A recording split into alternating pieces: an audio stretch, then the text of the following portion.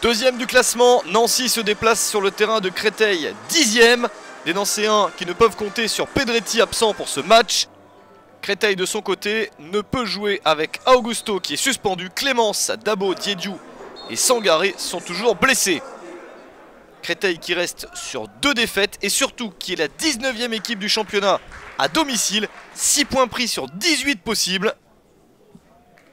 Les Cristoliens se méfient donc d'une équipe de Nancy plutôt en forme sur le podium dans ce championnat.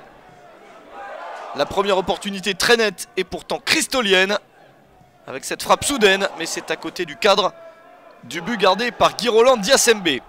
Attaque nancéenne avec ce bon échange. Junior Dallé hérite du ballon.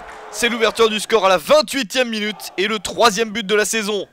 Pour Junior Dallé, Nancy mène 1-0 à l'extérieur. La bonne passe des Lorrains se poursuit. Attention à ce ballon perdu par la défense cristolienne.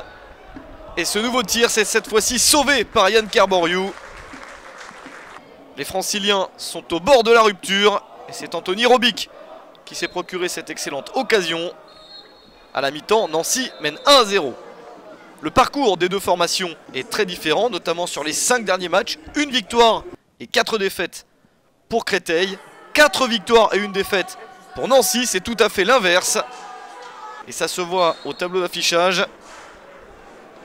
Créteil a pourtant la possibilité d'égaliser au cours de la seconde période.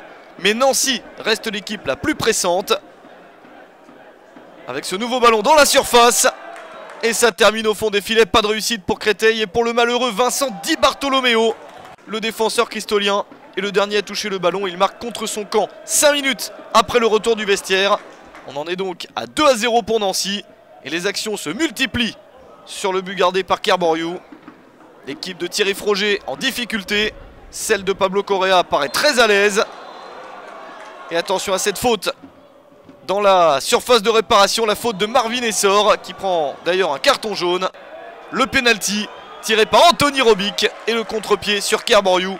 3-0 à l'heure de jeu en faveur de Nancy. Quatrième but de la saison pour Robic. Et c'est à partir de ce score que Créteil se met un petit peu plus à jouer, à tenter sa chance. Si Florent Mollet n'est pas passé, Jean-Michel Lesage, le capitaine de Créteil, a tenté un geste difficile. Mais l'équipe la plus forte était bien Nancy. Victoire 3-0 de Nancy sur le terrain de Créteil.